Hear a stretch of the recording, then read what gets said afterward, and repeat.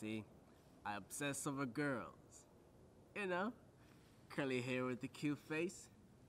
And a nice booty. Obsessed over fast cars. Driving down the freeway. Only doing 90 so the cops don't drive by. Superficial things that I think every day. Definitely a leading factor. But I just want to be a leader. Factor. One who leads you through when the facts hurt. See, my biggest obsession? Not fame or glory. It's just an oppression. A wonderful story. And if they were to tell mine, it would be about a b-baller who grew to be a scholar and an excellent father with a job that he honors. See, I'm making life matter each day that I live.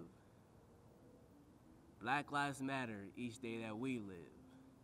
My obsession is to be great at the end. Dead ends won't stop me from making my ends. Thank you.